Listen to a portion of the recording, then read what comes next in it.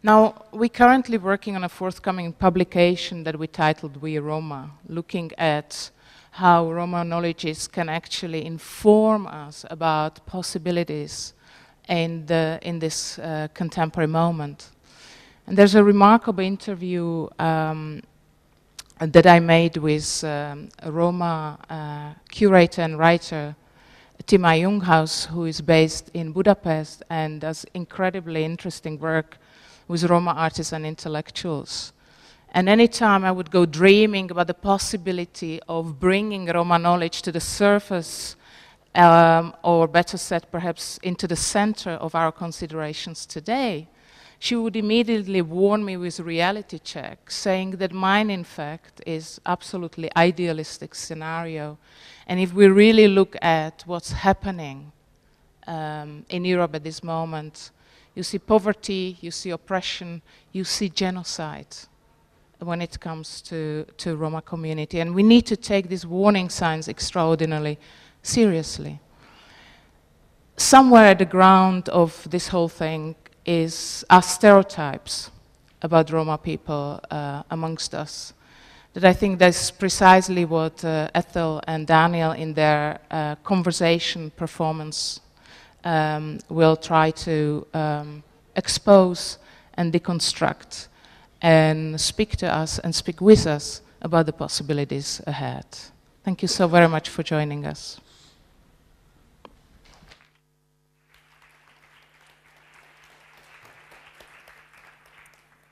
We'd like a couple of volunteers from the audience to participate in a short um, performance.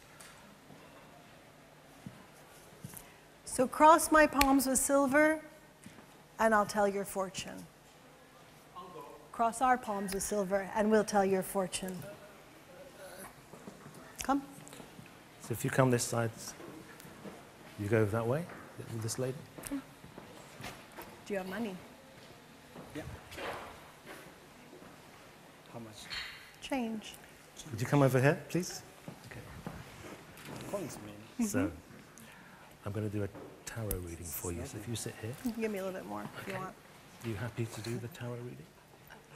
I'm not giving. Okay, Oh, don't give me. Don't give me dollars. I mean, don't give me euros. Oh, Yeah. This is yeah. fine. All right. Thank you. So if you think of a question, you don't have to tell me what the question is, but um, you can you can tell me or you, you don't have to tell me. Okay. May I see your hand? Okay. So if you shuffle those cards for a while, It's quite pink and warm. It, it's healthy. You've, I think you've been living healthily, and you're living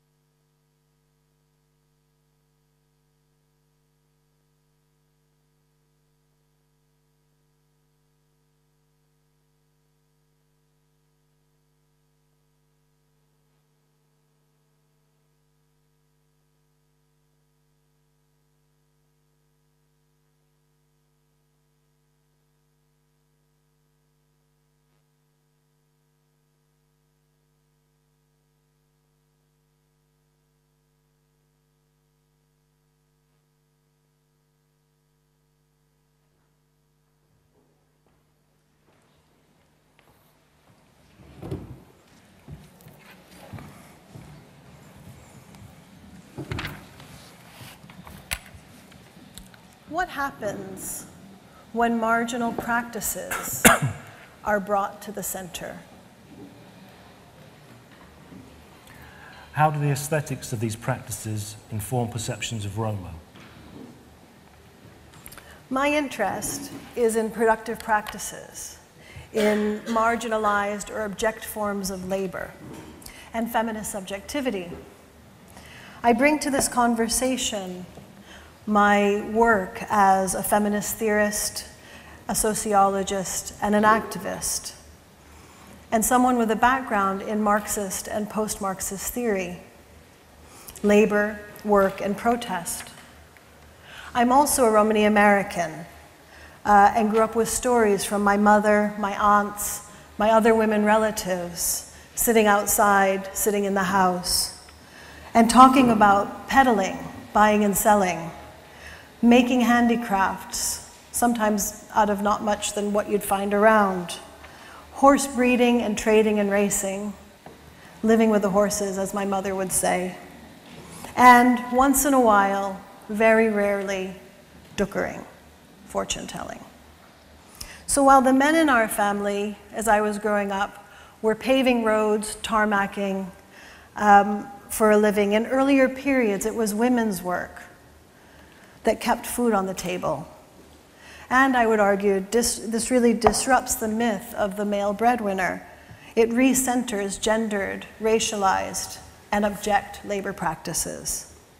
And it's precisely this gendered productivity and its marginalization that interests me. So the thoughts I'm exploring here this evening and um, that I uh, look at in my wider work are based on three um, areas.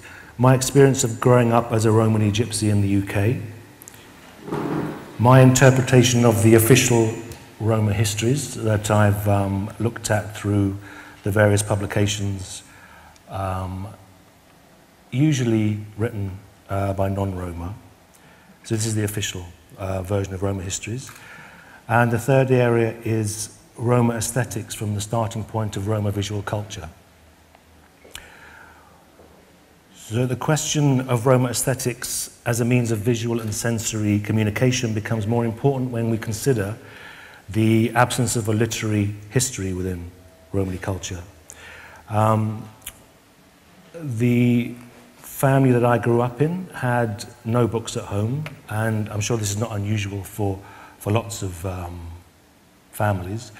Um, the reason they had no books is because my parents couldn't read or write, and therefore all the acculturation and cultural narrative that circulated in the home was through the objects and artifacts that um, uh, decorated or were installed in the home. So this idea of, um, of decor as a primary importance to Roma, I think is very important. And it also denotes a, an absence from the idea of art as a, a locus of, um, of uh, social narrative and um, value. Therefore, value is held by the decor and the ornamentation of home and often of functional objects, thereby um, objects and tools used in the home performed multiple um, functions. They were um, there to provide uh, an aid to any kind of work that was going on, but also a source of um, artistic nourishment. So my art practice and research have led me to the opinion that Roma aesthetics and Roma experience are intimately, intimately connected and mutually influential. And the point where these knowledges converge is what I'm interested in. So I'm suggesting that the elements that inform Roma aesthetics, um, most readily apparent in Roma visual and material culture, these um, elements translate into universal preoccupations for Roma. A set of values which um, I refer to in a propositional gesture as the Roma model, which I'll talk a bit more about later. Um, So now I'm going to hand back over to Ethel. And we're going to begin our conversation now. That was our introduction. And I also want to say thank you all for sticking it out. You must be exhausted, so we really appreciate the fact that you're sitting here and listening to our conversation and hopefully taking part in it in some way. And the conversation is going to take the form of a kind of show and tell. Um, we've prepared some. Oh, okay. Aren't we going to be? Yes. We've got our That's right. Yes, first. that's right. So before we show and tell, we're just going to start talking a little bit. Um, the first written reference to palm reading that I could find was in the Laws of Manu, written somewhere between 500 and 200 BC. And by the way, a supremely anti feminist text. You may or may not want to look at it. Um, in India, and one of the foundational texts of Hinduism. It's widely believed that Romani people brought it to Europe, um, where it was documented as early as the 13th century. And along with the Romani language and the Marime Makardi rules of cleanliness, it's something that concretely ties us to India and marks our violent, perhaps, diasporic migration to Europe. Palm reading predates psychology, the Vienna School, psychotherapy, psychiatry, as well as modern cartography, notions of predictability, scientific method, and medicine. And yet, I would argue, it combines all of those. And I would also argue that it marks us as cosmopolitan, as European, and often as other. So, although we, Romani people, embrace our language, our abilities with Romanes, no matter what dialect we speak of it. We repudiate these very skills often that kept body and soul together, that provided a means of sustenance, and kept us as a people throughout a millennium in Europe. Under adverse conditions and constant waves of attempt annihilation and beyond. So, what would it mean to embrace palm reading and Romani women's abject labor? And I'm using abject very deliberately here as part of our portable wealth, a legacy that we can use, that we can reclaim. So, part of this re- reclaiming would take up and deconstruct these practices, which have become at once, I was supposed to be talking to you, You can talk to all of us, it's fine. that would become at once pathologically embodied and disembodied in the present day. What would it mean to take these palmic cartographies and create other landscapes, other possibilities, and make them into handscapes? which is partly what we'll be exploring this evening. I'm going to talk um, very briefly about stereotypes and the possibility of symbols as um, productive alternatives. So, while symbols are more likely to be self assigned, stereotypes are, as we know, often imposed from the outside.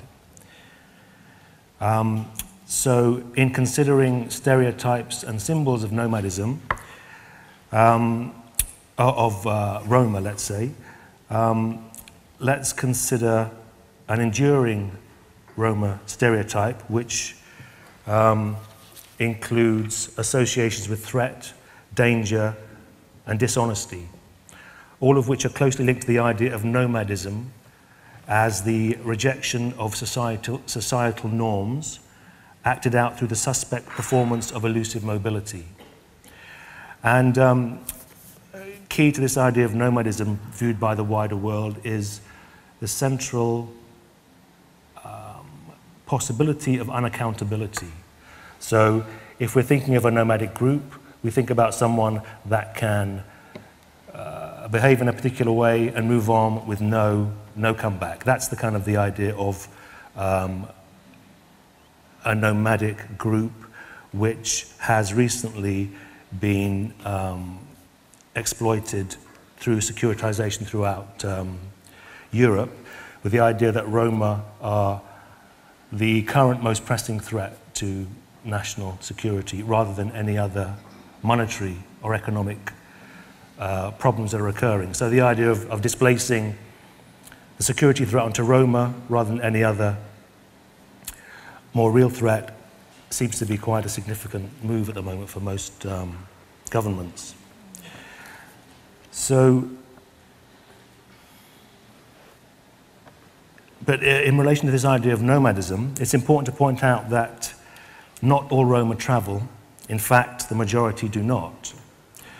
So rather than dealing with the idea of nomadism as an actuality, as the idea of people in an itinerant situation, it's rather the symbol of nomadism that remains to inform Roma communities today.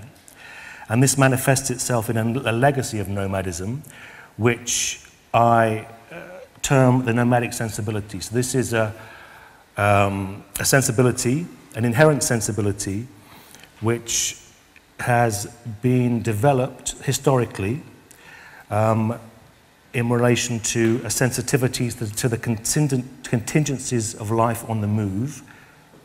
So, a sensitivity to the contingencies of life on the move, which has been passed down through, uh, through uh, the ages to today's Roma, and which I believe still persists to inform the Roma worldview. Um, this worldview, uh, with its starting point in a nomadic sensibility, often sets Roma groups apart from and in opposition to the nation state. Um, that's from one perspective.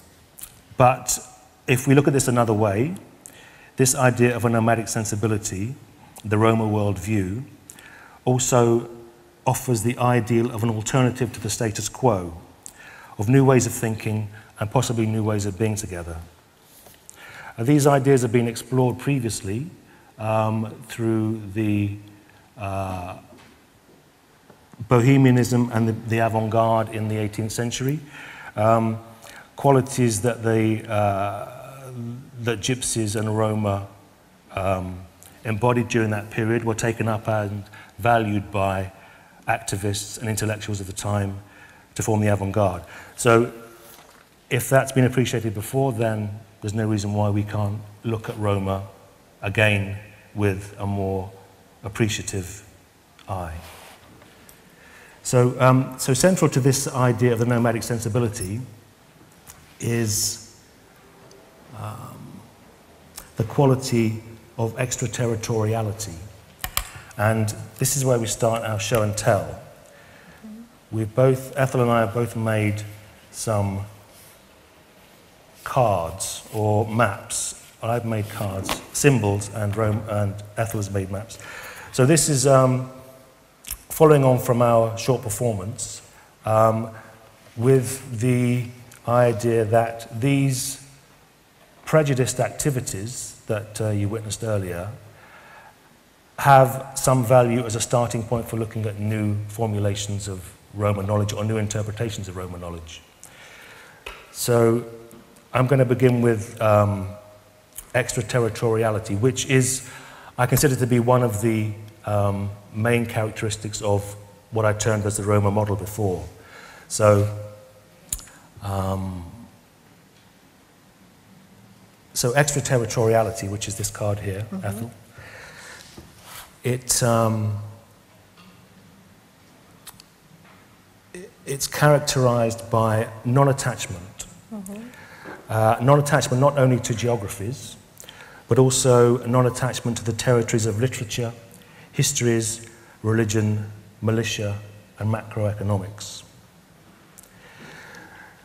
Such um, uh, non attachment um, can be considered an aterritoriality as well. So, a basic um, removal from an essential attachment to geographies. And this is why I've used the cloud as a symbol to denote extraterritoriality. So I believe that um, this state of extraterritoriality is implicitly understood and innately enacted by Roma, a people with no welcoming homeland or any commonly acknowledged myth of departure. Beyond the geographic, Roma extraterritoriality is manifest as a perceived non attachment to the written word. The written word being the seemingly universal convention on which the formalized structures of history are built. So the idea of a non attachment is, I think, underpins this idea of the nomadic sensibility. Um, we'll leave these cards in if anyone wants to um, pass them round. Be welcome. Thank you. So, Ethel, I'm going to ask you for your first card, show and tell, your map. Yes. Um, thank you, Daniel. I, I do want to say what I think was interesting about what you said in terms of the attachment to the written word. Um, we can come back to Gayatri Spivak or to Jacques Derrida and look at the kind of practices against phallologocentrism that they talk about. And I think that that might be an interesting also way of entry into the, into the cloud. Um, and for me, what I've done, um, Daniel has made symbols, and I've done alternate palmic cartographies or handscapes. And this one um, denotes what I would say is Romani history. And what I'm thinking about in terms of the Romani history is a notion of encampment, the modalities of the camp, its possibilities, its politics, and its history. In the We Roma reader um, that Maria referred to at the beginning, I argue that, quote, the camp is our history. Our history is one of encampment. We are inextricably linked to the camp and to encampment. In fact, our history is inextricably linked to three principal iconographies of the camp the gypsy camp, the iconic one, the slave quarters, and the concentration camp. And that's, that's the end of the quote. But it is, in fact, also, I would argue, the present condition for too many of us. Refugee and displaced persons camps, makeshift camps because we are not provided with places to live, and the continual threat of expulsion, and again, a kind of setting up of camp. So, what I'm, what I'm looking at here is not the camp as a kind of freewheeling choice, but the camp as that which, uh, from which there is no alternative. So, what I've done here, Daniel, is I've put on the lifeline 1,000 years of history. On the knowledge line, I've drawn an eye, meaning that even as we're surveyed, as we're watched, we're watching back, we're looking back. And then um, the heart line, I've marked it with love, but I've also marked each of these with the various modalities of the camp. And so here we've got genocide, waves of genocide over the last thousand years, slavery, forced evictions, forced settlement, forced sterilizations, firebombing, pogroms, and murder. And for those of you who don't know, just two days ago in Bulgaria, a Bulgarian man shot dead three Roma on the street for no reason. So we have to realize that this is really a condition of our present day. But near the love line, I think there are some other modalities of the camp and encampment that we can think about security, safety, home, right? Where one's own people are. And what I've done is drawn, um, here I've got the, the kind of the caravan, right, the various modalities of the camp, the caravan or the vardo in my dialect. Um, the slave quarters um, as a kind of recording of the, the history of slavery that Roma in um, current modern day Romania and Moldova have faced. I've got the tent and I've got the mahala the Romani neighborhood. Up above, where the place where one's um, hand lines are in the finger, the creases of the finger, I've made barbed wire, and I've got the concentration camp. Because the, that history of the Holocaust, the Porajmos, marks our history of the 20th century deeply. But I've also got surrounding it the Romani flag with its wheel and the, the depiction of the sky and the grass and then a patrine, um, which is an alternate kind of map formation that uh, traveling Roma would use in order to mark where they were going and to signal it to other, to other Romani people. And that opens up a possibility. And then off in the thumb, what I've, what I've put are the walled areas of the modern day displaced persons or refugee camps. And the final thing I want to say about this is um, what we've got with the hand is this is north, this is south, this is east, and this is west. And so with the palmic cartography, what we're doing, west becomes, it's at the very bottom. It's not at the top, it's not the primary space, it's at the bottom. So that's, that's my map, and I'm happy to, again, pass this around. Thanks.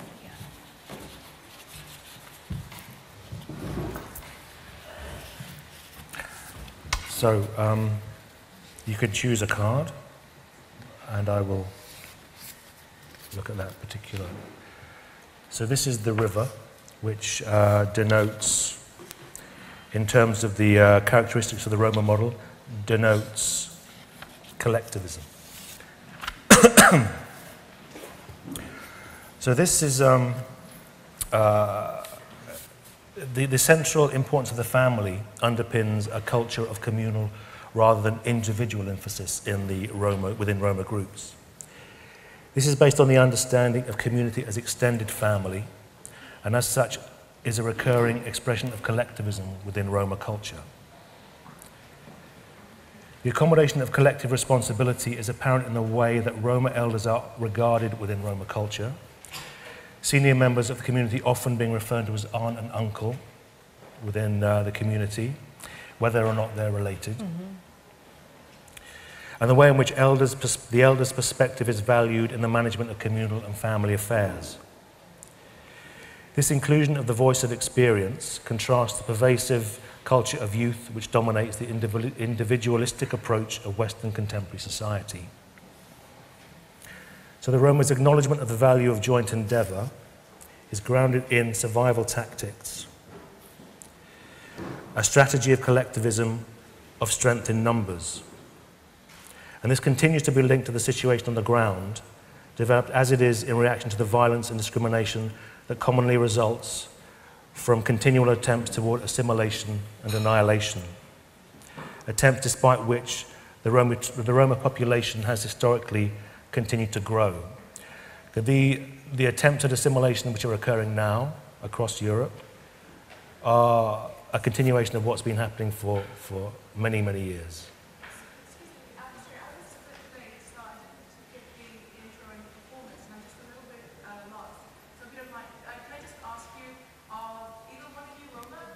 Both Roma, oh. yeah. Yeah. And so, so I, it, my, my, my, my concern is um, sort of part of what I think that we're kind of dealing at a, at a very poignant place in Sorry, but I, I intervened because you will need my. Oh, oh, sorry. I thought you were telling me to keep quiet. Are we, yeah. Uh, no, so, um, I'm sorry to interject with your, um, your, your, presentation, but um, because I, I, I, kind of, um, you know, um, I, I, feel that we, we're at a point in our sort of global history that, that is um, quite sort of de desperate, and I, you know, we, we, we, sit, we sitting here speaking about about, about people that are as, as, others, and I kind of belong to, as I'm sure most people probably in this room belong to, categories of, of, of other. And I kind of always wonder when we have these conversations, what, what is the, the, the illustration and what, where, what is the point of us talking about, about, about these situations? I mean, it's, it's, it becomes another sort of illustration of, of sort of social. Uh, just uh, social patterning or, or, or, or, kind of a social structure that's, that, that, that's again quite kind of anthropological. And I kind of, I get quite frustrated when I, when I, when I experience that because I feel like, you know, you know out of this meeting, what, what is the point, you know, out of, out of this? I mean, we're talking to, to quite a homogenous um, uh, continent in, in, a, in, a, in a lot of ways. And, and when, the minute we start speaking about our, our others, it's again still in, in very confined situations. I mean, this, this, this, this, this house is this kunst, kunst, whatever. It, it's a very con controlled, con contained, contained situation. I'm sorry, I'm just interjecting. I'm not really offering any solutions. I'm just quite frustrated and feeling quite kind of radical about.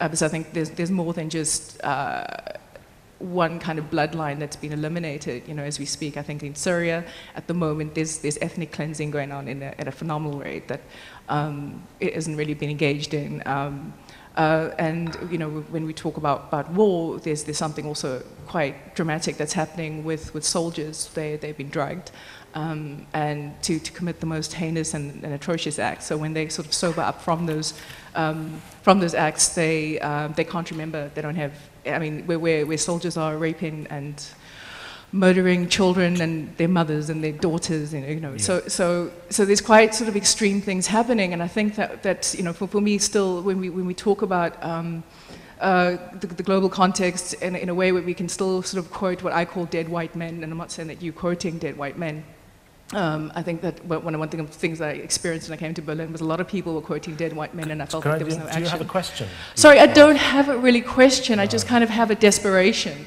and okay. I think that, that that is sort of what I'm, I'm, I'm trying to do. And, and, sorry, when I get the microphone, I, I tend to okay. kind of go on a bit. So maybe I should we, stop. We hear your um, desperation. Um, thank, thank, thank, you. Thank, thank, you for your intervention. Thank you. Um, okay, so yes, collectivism. Right. And now I'm going to choose a card of yours, Ethel. Okay. This one. And we may not get a chance to go through all the cards, so. So to, uh, stop us if we. Um, sure, yeah, absolutely. Okay. There's another card for you there. Yep. Okay. So this is, um, again, back to the productivity question. Um, I don't know if you noticed, but at the beginning when I read the gentleman's palm, I took his money. And I'm not giving it back. And I'm doing that very deliberately because what we're talking about is not just a kind of a mystical engagement with some psychic world, but actually, as I said earlier, a form of productivity, of keeping body and soul together, of putting food on one's table. And for me, that's precisely what these practices are. When one is deprived of labor market opportunities, of labor market niches to sort of get sociological on you, this is where one intervenes because it becomes a labor market niche. And so, um, again, what I've put here is, is Marx's circuit of capital, his formula for capital reproduction, the monetary commodity monetary form, so MCM prime, i.e. The, the, the, the, creation of surplus value. Um, but I've also put around on the heart line body and soul. And because again, I'm really interested, and I think it's essential to talk about embodiment.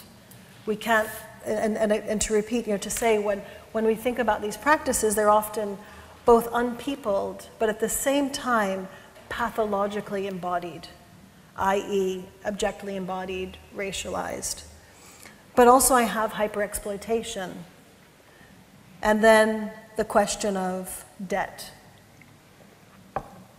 We talk a lot about debt today, but I guess the question I would turn back from thinking about abject labor practices is who owes whom?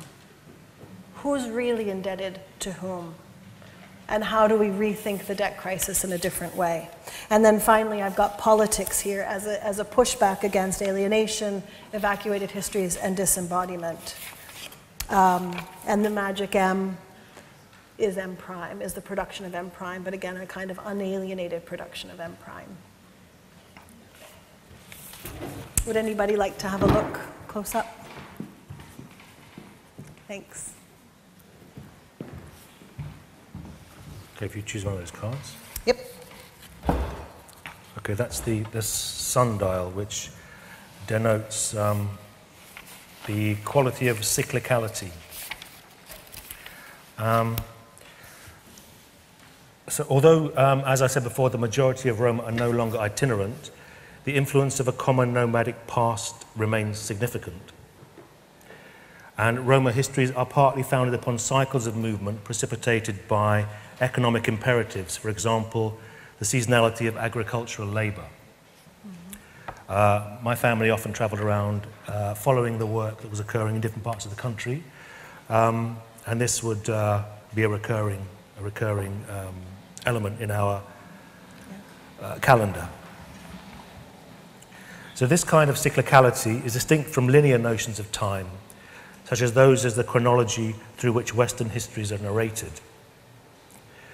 Contrast between such narrations of temporality are compounded by the explicit exclusion of Roma from conventional histories as evidenced by the late arrival of markers commemorating those murdered during their time in the concentration camps, as well as our conscripted Roma dead that died during the wars. Um, so this, um, this was discussed in um, a couple of talks yesterday in relation to the idea of the Western idea of time and history as being about the future, constantly about progress, moving forwards, without really considering any kind of implications of our histories, how our, our histories might come back to influence how we are experiencing uh, the present and also the future. So I think I consider this to be quite a marked um, contrast. This idea that we treat um, our environment, whether it be an environment that we are passing through in terms of my family, let's say in my, my, my community um, in, in the UK. Um, for instance, um, there was a tradition of uh, making um, willow baskets, willow uh, type of wood, wooden basket, and filling them with primroses. Primroses would be taken from uh, local woods. Um, but there would always be enough left in order for there to be some again next year. So this idea of, of, um, of history as a series of cycles, I think is um, still quite important within the, the Roma sensibility. Moving on to the next card. Mm-hmm.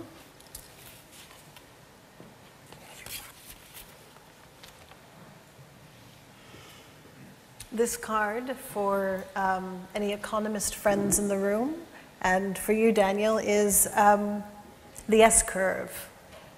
Uh, the S curve is a, is a, it signifies the cycle of technology. So it's something, again, thinking about technology, thinking about questions of innovation, and trying to reclaim them.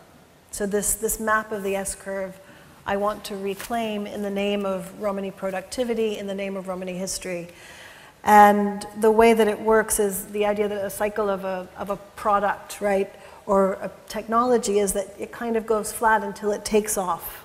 And then it reaches its peak, and then it goes flat, and another one comes ahead. And I think for what for me, the alternative to that, the alternative to the idea of a planned obsolescence, is actually making something that's old new again. And I think some of the things that you've been talking about are very much along those lines, you know, keeping the primroses, um, but also you know, using things that would seem to be broken and fixing them, using them for other purposes, right? That's, that's again a practice of people who don't have access to easily disposable commodities constantly. Um, but it's also this making new, this pushing back against obsolescence, recycling. But also, again, I think this question of the future, a kind of alternate, alternate futurity that doesn't depend upon the onward push of, of a capitalist progression or, or, or a neoliberal notion of what the future might look like, which is pretty bleak.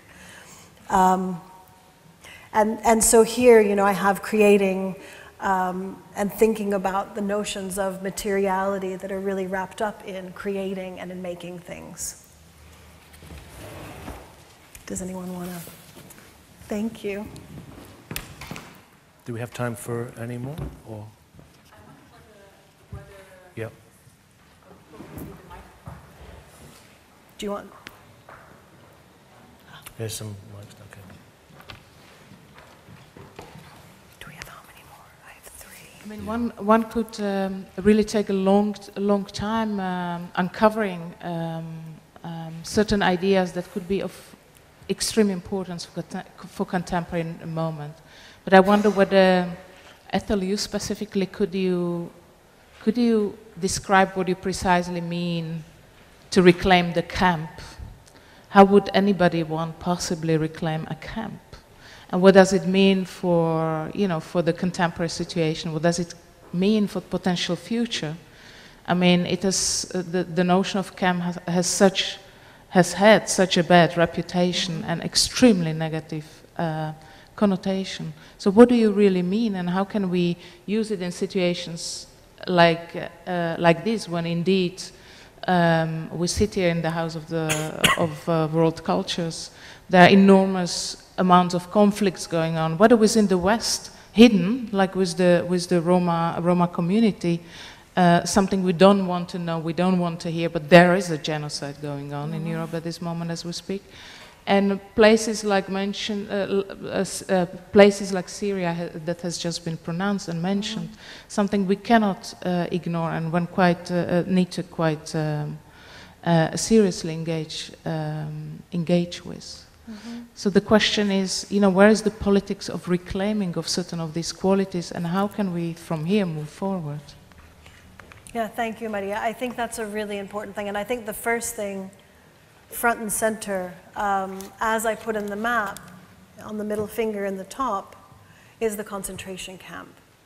And to say that not only in World War II, in the history of the Holocaust, Romani presence, Romani death in concentration camps was denied for so long.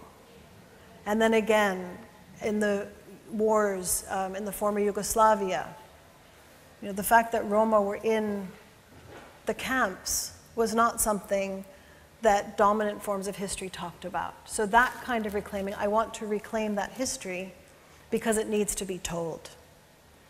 One of the urgent ways in which it needs to be retold is that, yes, we're in another moment of, if not genocide, then we're certainly heading there.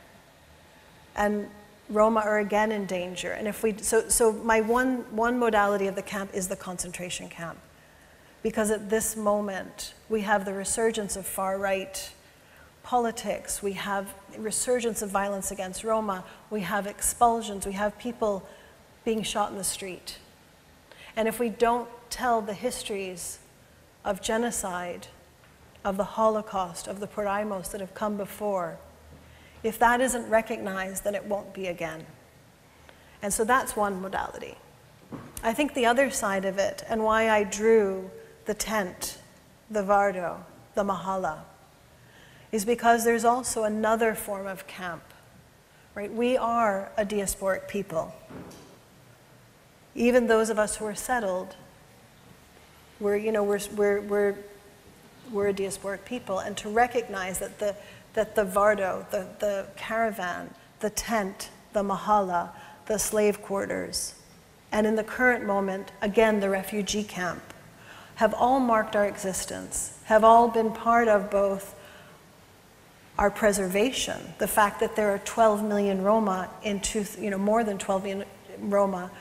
There are more Roma than Swedes. Is that right? I think that's right. Um, in the current moment, yes is marked precisely because of this camp and despite the camp, so the two modalities of the camp. But then I think, again, the third form of encampment that I want to reclaim is the possibility of another camp outside of the dominant camp.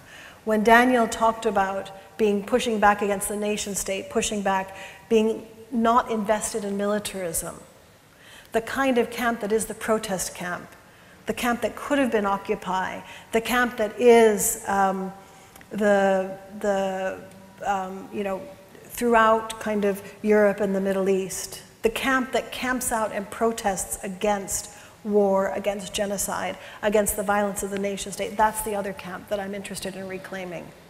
So you, you're talking about the camp as a sort of archive of knowledge. Absolutely. Which to address in order to rethink possible other futures. Absolutely. What's good art and intellectual practice to do with this? I mean, vis-a-vis, I mean, if we use mm -hmm. a mm-hmm. word such as genocide, why should we be sitting here and debating these questions? Well, I think there are many strategies for tackling uh, the situations that uh, we're, we're discussing here.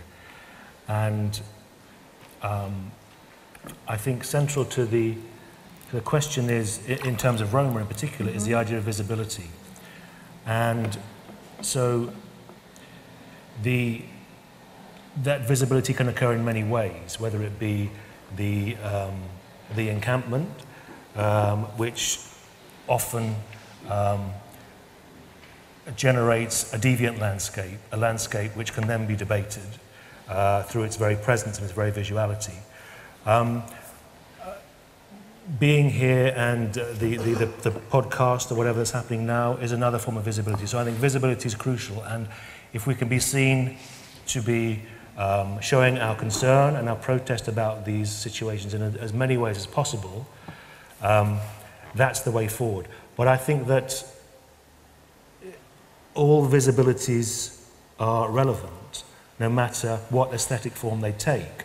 So to um, privilege the urgency of, of uh, the protest, the protest camp, um, you know, is possibly valid, but it doesn't, it, shouldn't have to replace the visibility of the artistic gesture, which I believe can be as emancipatory as the protest. Yeah, and I think to follow up on that, I think it's also that emancipatory move is about another world, another politics. And you know, we have a, a, module here, what's to be done, right? What, what are the other worlds that we can that we can imagine? And part of that comes through artistic practice and, in, and intellectual endeavor. And it doesn't have to be the kind of artistic practice of, you know, the, the high-low, the elitist intellectual endeavor, but it's actually just the kind of communication, the thing of making together. You know, and, and Daniel and I, when we were preparing our cards today, we sat for hours reworking them together. And that is an emancipatory project. That's an emancipatory practice, I would argue. But also, I think what we're trying to do is to open up, just to tell these histories, as you say, the visibility, but to also, up other, also open up other possibilities and to really bring politics into it. Now, what do you, what do you mention? I'm reminded of, uh, of, the, of the argument that Boris Groys actually made on the first day of this gathering, talking about the fact that art and politics are actually united through the notion of imagination, of imagining mm-hmm. another future, another possibility, but still, in comparison to politics, art is much more powerful in the sense that politics is only capable of operating in one sort of time, mm-hmm. which is the contemporary, the present time, while art is capable of operating across various layers of time and perhaps even operates with a delay, but it's the notion of visibility or other, other possibilities that art brings forth. But it's its capacity to operate across different times, mm-hmm. it's, it's political power that's, uh, that's of crucial importance. Absolutely. I wonder whether there is an urgent question here in the room that you would want to pose. Does it work? Yeah. As you've been talking about the camp, I want to add a fourth uh, version, perhaps, of what Susan Sontag was writing about camp, which is something totally different as counter lecture, something to, to speak of quotation marks, sensibility, artifice, studization, theater, sorry, uh, theater, irony, something that really turns this expression around. Does it help you to get some more positive uh, connotation of the terminus of camp, speaking about like occupy camps and what David Graeber yes. wrote about counterculture or culture jamming, as Kalle Lasn called it. Yeah. Just a fourth remark on that. Absolutely. See it more in a positive way. Absolutely. The Susan Sontag formation of camp, and the camp is perfect. And it does show the possibility of art. And it shows the possibility of, of perhaps making fun of the ridiculous formations of elitism, of, of capitalism, but also of the ultra right, right? I mean, that opens it up to actually make fun of it. And I think that that's part of, you know, one of the things that we've also been talking about growing up in Romani families is, you know, I, I grew up sort of being taught to make fun of everything. And that camp and the ways in which it's related to artistic practice is absolutely there.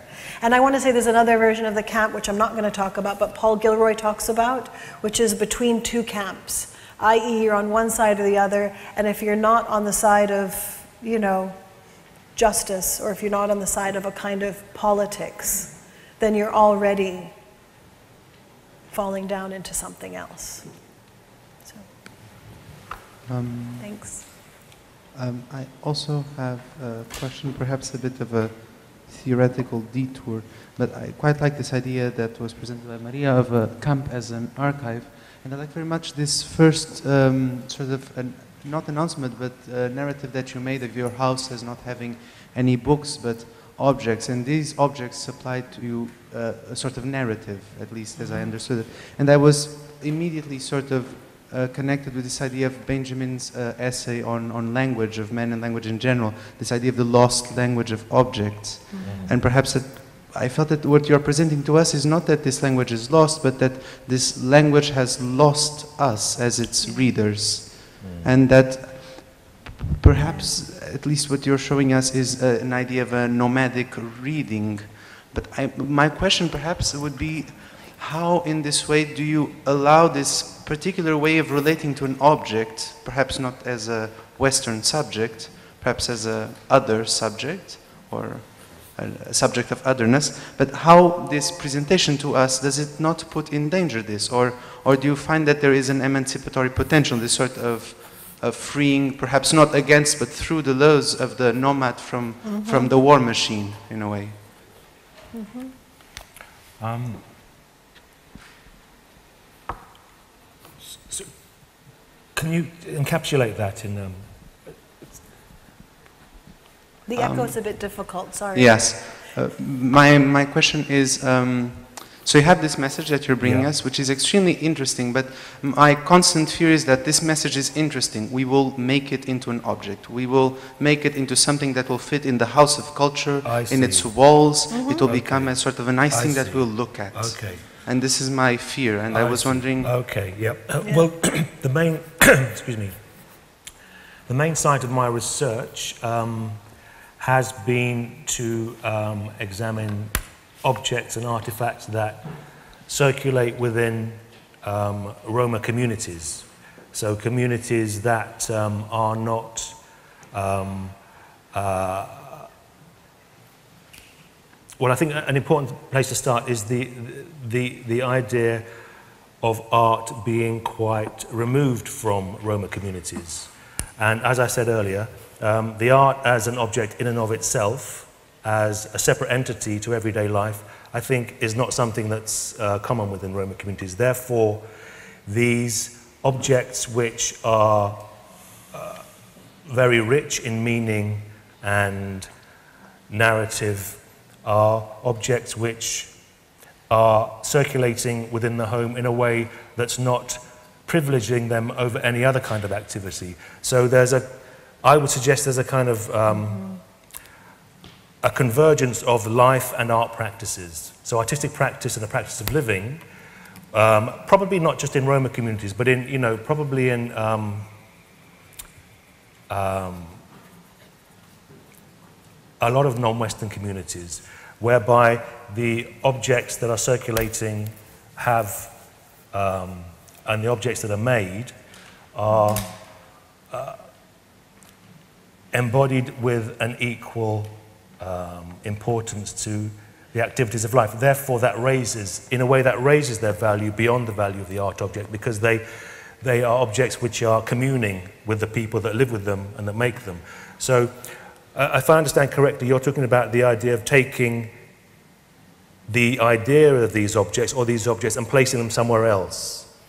And I think that brings into question the whole idea of um, the art institution, really, and what part the art institution has to play for um, communities such as the Roma community. And I would argue that that um, it has probably very little to offer the Roma, Roma communities in terms of, of housing um, embodiments of um, artistic practice that are, are coming from these communities. Where I think it can be useful is when um, these objects are placed in a different environment in order to um, elicit new meanings from them.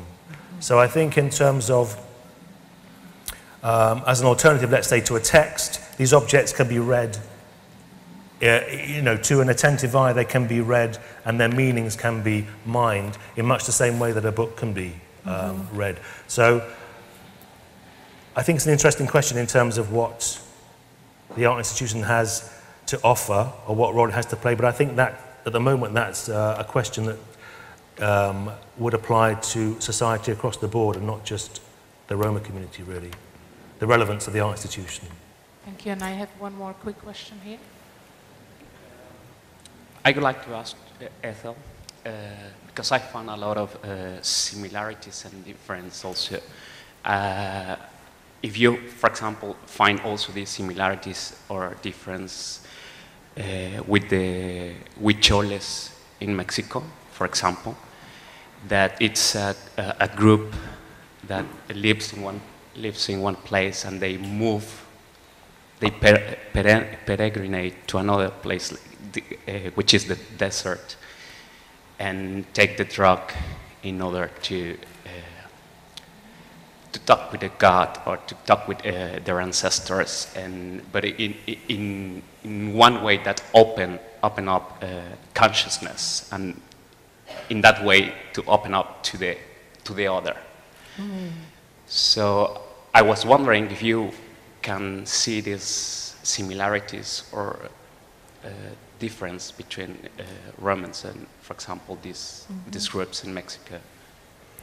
Um, yeah, I guess I, I think I have a couple of responses to that, Alejandro, and I'm sure Daniel does as well.